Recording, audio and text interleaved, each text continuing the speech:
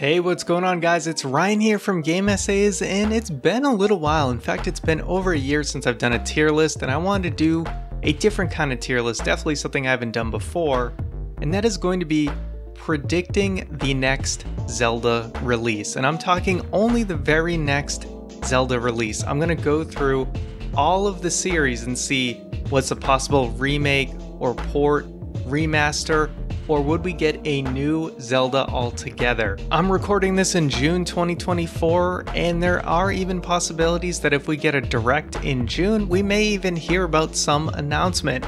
But anyway, I want to see what is likely and most likely not the next Zelda release. So let's start all the way back at the beginning. We're going to go with Zelda 1 and Zelda 2, the two games that are on the Nintendo Entertainment System. Obviously, these games are available right now on Nintendo Switch Online and have been for many years now. So if they were to get any kind of treatment, it's gonna be a remake. I just don't feel like it's particularly likely just because they're available now. You can play them if you want to. They even have easier versions, those SP versions, to make it a little bit more friendly to new players. And I just don't feel like now is the right time to try and do a remake for these games. And I feel like if they were ever going to remake them, they would have done it a long time ago. In fact, they almost remade the original Legend of Zelda that ended up being Oracle of Seasons. So they had their chance then, and I just don't see it happening. So I'm going to put both Zelda 1 and Zelda 2 under very unlikely for a remake treatment. Now, moving on to A Link to the Past, I kind of feel a very similar way. And that is, A Link Between Worlds was potentially going to be a Link to the Past remake, and then they ended up doing what I think was the better idea, which was to have something that alluded a lot to A Link to the Past, reuse the same map and a lot of similarities, but have it be a new experience with a new story, new dungeons, all of that. So again, that was kind of their chance that if they were going to do it, they were going to do it then, and I just don't see them going back to it. And again, this is another game that is available to play on Switch Online. So it's not like people are clamoring for a method to play this game in 2024. It's extremely accessible. So again, I'm going to put this as very unlikely for a remake. Now, Link's Awakening is uh, going to be something, you know, would we get anything regarding Link's Awakening? We obviously just got a full remake in 2019. So I don't see them finding any reason to go back and give that another treatment. And also, they even had Link's Awakening on that little collector's um, Game & Watch thing that had Zelda 1 on it and Link's Awakening. So there's really no reason for them to uh, do anything with Link's Awakening. Again, they just remade it, so that goes under it already had something recently. Now we get to a little more interesting games that might have potential here. So, Ocarina of Time. Is it possible we get a remake or another possible thing since Ocarina of Time has already gotten a remake before is a 3DS remaster up to Switch or even Switch 2 when that allegedly comes out next year uh, there is precedent for them taking a 3DS game and upscaling it and putting it onto Switch. We've seen this with Luigi's Mansion. So it's possible that they could do this for Ocarina of Time and even Majora's Mask. Uh, for Ocarina of Time, I'm. It's possible. I would say it's either going to be somewhat likely or unlikely but possible. So I I'm gonna put it on the somewhat likely category. There's a decent chance they could do this. Like I said, there is precedent there for them doing this with 3DS games. So I'll put that as somewhat likely. I'm gonna put Majora's Mask as unlikely but possible. We all know Ocarina of Time generally gets the more favored treatment over Majora's Mask. And it's kind of a miracle in and of itself that we got that 3DS remake for Majora's Mask. And I'm not sure if it wasn't for fans petitioning that it may have ever happened. I think that was a huge part. So I think the most likely scenario that we get the 3DS remaster onto Switch or Switch 2 for Majora's Mask is if they do kind of a simultaneous release with both Ocarina of Time and Majora's Mask. Since all the hard work has mostly been done and they would just need to upscale it, um, you know, obviously there are some assets that they may have to rebuild from the ground up, but most of the work I feel like has been there. In fact, there's a lot of emulators that already upscale these games and make them look really, really good. I think Ocarina is more possible, but Majora's is also possible, but a little bit less so. And maybe we get the simultaneous release, but it wouldn't surprise me if they would just do a 3DS remaster. And again, this is all completely speculation. This is not based on news or rumors for any of these games. Oracle of Ages and Seasons remake. It would be tough for me to put this anywhere but the top two categories. I would either put this at I'm going to put I'm going to leave it at the top of somewhat likely. Obviously, we saw that Link's Awakening got a complete remake for the Nintendo Switch and made that game an even more enjoyable experience because one of the things that held the original Link's Awakening back was really just the lack of buttons that the original Game Boy had.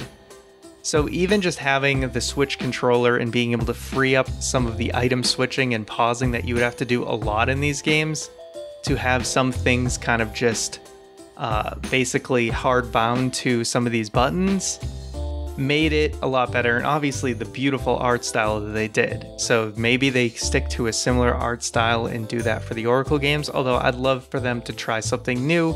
But the Oracle games are some of the least played of the entire Zelda series, so it would be awesome for them to remake these games for a new generation because they're awesome games that don't get a lot of love.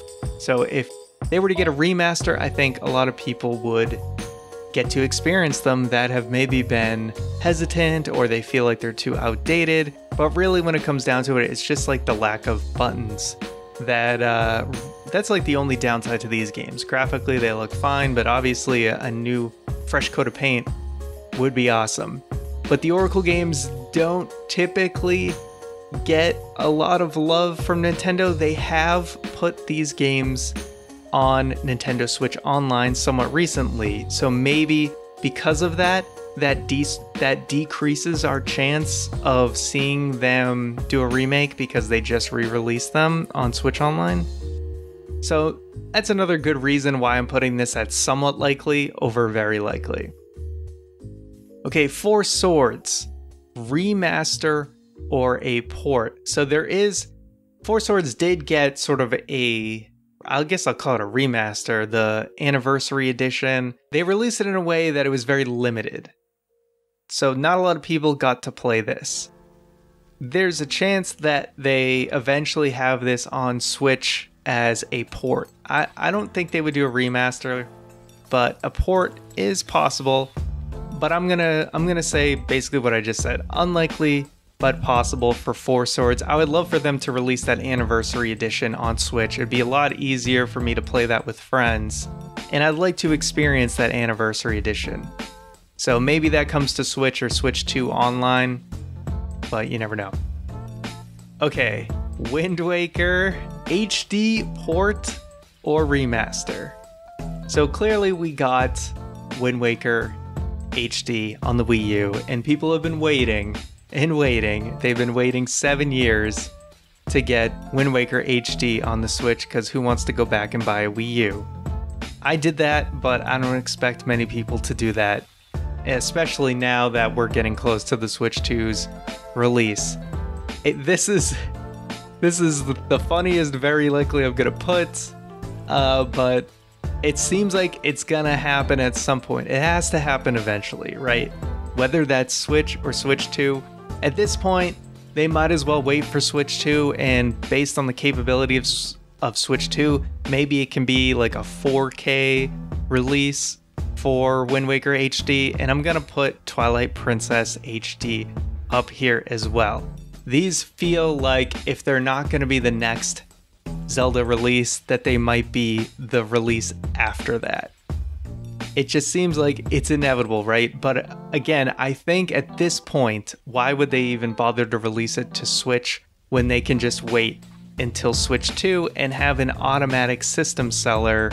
Not, you know, not the flagship release for Switch 2, but definitely a supporting release if they can say, "Oh, play Wind Waker and or Twilight Princess HD in 4K or something," so they even touch up the the Wii U remasters I think that would be that extra motivation for people. Like if Switch 2 releases with a Mario game and these Zelda remakes uh, put on the Switch 2, then boom, that's going to get a lot of people excited.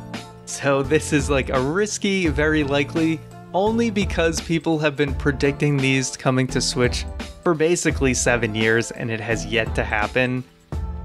But I think, again, it has to happen at some point, right?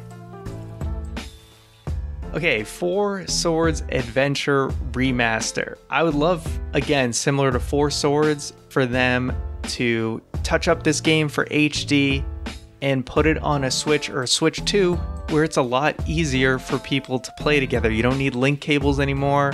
You could just have it even whether it's online or even just local. I feel like it's a hundred times easier to get that experience with this game. I'm going to put this at unlikely but possible.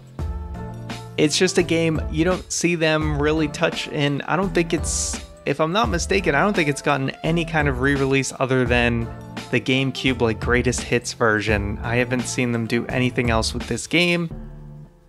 So, yeah, I, I don't know how much they're gonna touch this game, at, if at all.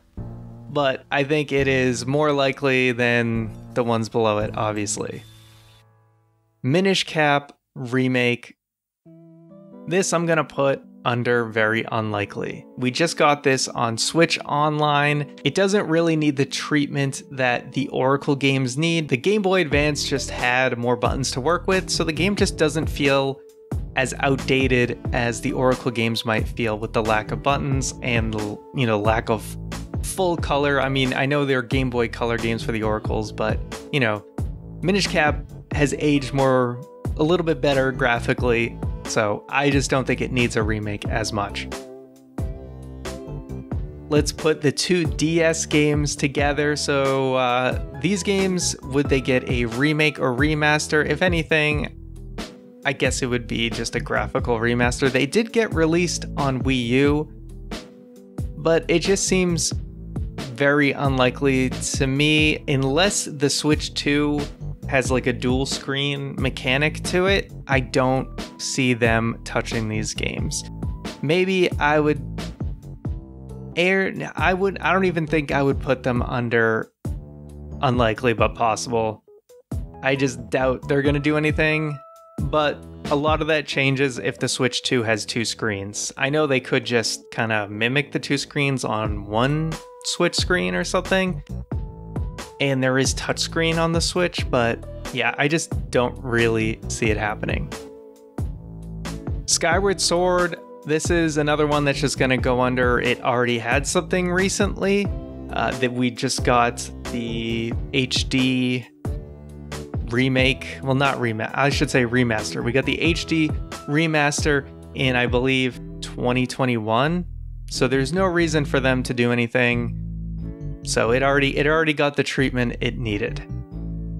A Link Between Worlds remaster. This is one that I would really love to see happen, and I'm gonna put this under somewhat likely. And I almost like it more than the Oracle games actually.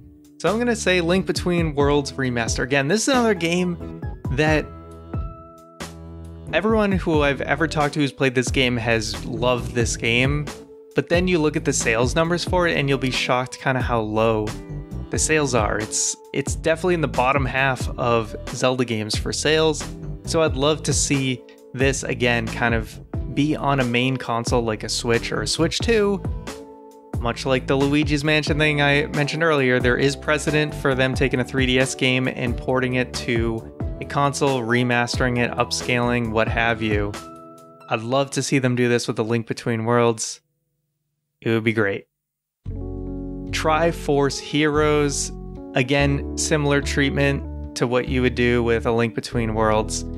definitely less likely, but would be another situation where it would be awesome for it to be more accessible for people to play because tons of people have a Nintendo Switch. I will put this under unlikely but possible. I think it's probably more likely than the Four Swords games that it happens, just because it's a more recent game.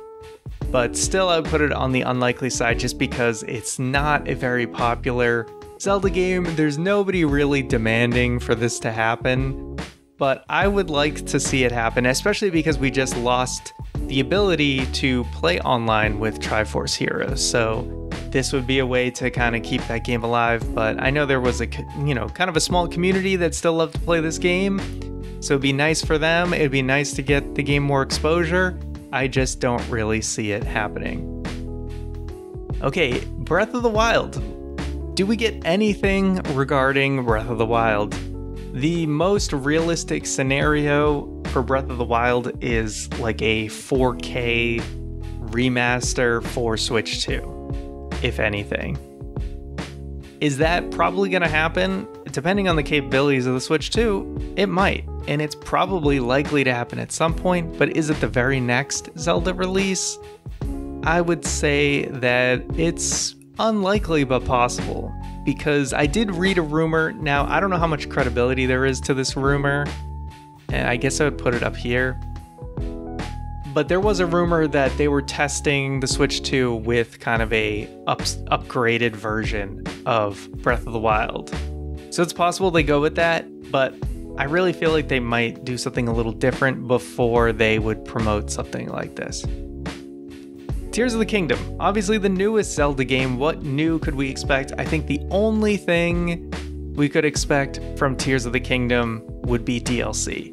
And they've already made that pretty clear that it's not something they're particularly interested in doing. Now, Nintendo has been one to say that they're not going to do something and then all of a sudden it happens. They said that about the Skyward Sword HD, but it really felt like they meant it when they said they were kind of done with the world of Breath of the Wild and Tears of the Kingdom, and they didn't really have any good ideas to do DLC. I'm gonna take them at their word and just say Breath of the Wild DLC is very unlikely.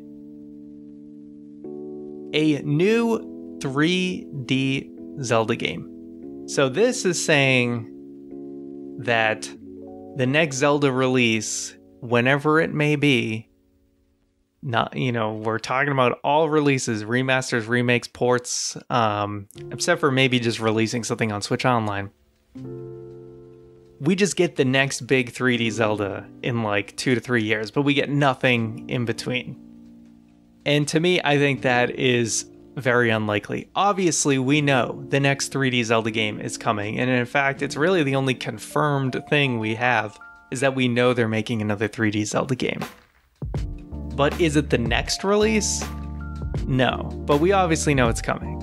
And then finally, my personal favorite for what I want to be the next Zelda release, and that is a new 2D, and by 2D I mean top down style Zelda game, akin to your A Link Between Worlds or A Link to the Past. And I'm actually gonna go out on a limb and say it's very likely. I'm gonna put it less likely than the two ports because those already exist and wouldn't technically take as much effort. But I think a new 2D game, it's been over a decade, and it just feels like the right time to do it. So that's my pick. So let me know what you guys want to see and what you think is going to happen for the next Zelda release, and I'll see you guys next time.